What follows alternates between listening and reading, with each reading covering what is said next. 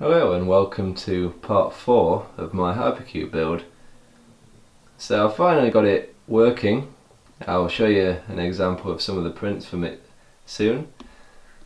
And um, it's not too bad so far. So thank you to everyone in the previous video who helped me with my Z-axis lead screw issue. It was just incorrect wiring of the motors in the end and the Z-axis now goes up and down perfectly. I've not been running the heated bed, it's all wired up as you can see the thermistor is under there as well as the connections to run this off 12 volts. I just wanted to make sure that the printer was working reliably enough rather than uh, having to heat up the bed and cool it down every time. I in the end didn't use the inductive sensor, I've been using this normal mechanical end stop and the adjustment for, for that is here. I switched to the 8mm sensor with the, potential divider method to run it off 12 volts and it just wasn't triggering reliably so I had to get rid of that because I have some 3mm glass on top of this and it was very close to the to the bed and it wasn't always triggering. So I'll sort something out for that soon. Hopefully get auto bed leveling on. As for the extruder I've just got this simple Bowden type I found on Thingiverse. I'll leave a link for the person that designed this in the description. And this is going to my homemade spool holder and if you've not seen this design before, all I did was get a paint roller, uh, broke the handle off it and screwed it into the block of wood. And this works perfectly, spins really freely, not had any feeding issues at all. And there's room for another spool on there if you want so that's one way of doing it. The main issue I have with this print at the moment is the fact that it's very loud, getting a lot of binding noise and I've been changing these stepper driver currents and tried everything there but the problem still persists. I've added a 12 volt fan to try and keep them as cool as possible. So I've ordered some new ones. I've got some DRV8825s and some normal A9 uh, 88s. I was also having an issue with the layers shifting. And this was because uh, the belts are quite tight at the moment so I don't think it was the tension issue but rather that these pulleys are not very well made. They are um, chrome plated which means that the teeth aren't as perfectly matched to the belts as they should be. And as this was changing direction quickly the pulley was just spinning and causing the layers to shift. So I had to lower the acceleration quite a bit and was printing quite slowly. So I've ordered some new stepper motors, some new drivers and pulleys and belts and I will install them now and see if it makes any improvement at all. Okay, so I'll just run through what changes I made. So I've swapped out the motors for these new um, better and torquier ones than the ones before. They are the same size however but the um, specifications are a bit different. Got these new aluminium pulleys on. Seem much better quality and a much better match to the new belts. I've added these pulleys for the idlers as opposed to the bearings that were being used before. That focuses. Uh, the heated bed works well, but uh, just taking it off whilst I print some more things. Don't really need it all the time.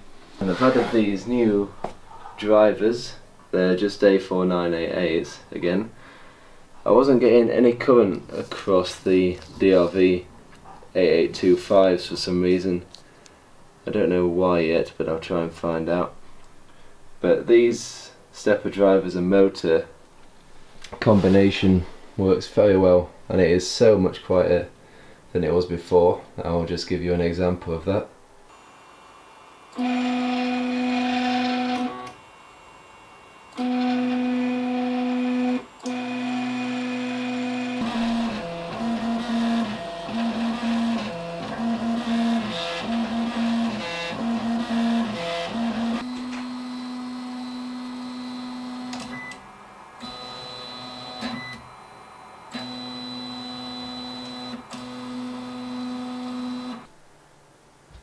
Printed these test cubes each stage of when I was uh, fine tuning the printer.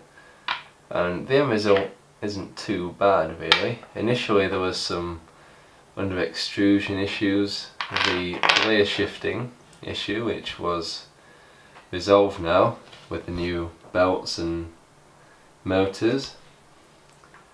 And this is the, the one I did a few days ago and in terms of its dimensions and everything if I grab a micrometer here it's it's not bad at all. Um, so quite happy with that in terms of its accuracy. There's still some artifacts on the sides. See if I can get rid of that somehow. And also some I've never got this X to print properly. I don't know whether it's a issue with my hot end in terms of it kind of leaking plastic everywhere or a, a cooling issue maybe but that'll be something I'll look into if anyone knows why then please leave a comment. Uh, the Z turned out nice and there's no gaps in the top layer which there was before. This one is a different one what Tech2C used in one of his videos. The circles and uh, it's kind of a half semicircle, a half sphere I mean, and they were they turned out nice as well. There's some rippling after. Uh, again, try and fix that somehow. So these are just two examples. I tried this compressor wheel the bottom layer is very nice. And the accuracy around the the bottom is very good indeed. However the main issue here was on the as it gets to the top of the the vanes it's a bit starts to get a bit blotchy. And I think that's because of this cheap hot end just uh, oozing plastic really. Um, I think that's but apart from that, it's turned out very nice, very accurate. This is just one of these hello vases that a lot of people do. And again, not bad at all in terms of the sharpness of the corners. There's still some, a bit of rippling on here. Have to catch the light though to see it. Bottom layer was good again, stuck to the bed well and the wall thickness was all all nice. Okay so that's it for this video. So the plan is now to to change, to try and improve this as much as possible. I'm going to use some stuff from the Hypercube Evolution designed by Scott 3D. It's got a good solid way of attaching the hot end to the X carriage. Gonna add a, a case for the ramps board and Arduino to try and keep everything underneath and a bracket for the power supply as well on the other side. Connect the LCD display up and just try and fine tune it to get the best print quality possible. So thanks very much for watching, please subscribe if you haven't already and see you in the next video.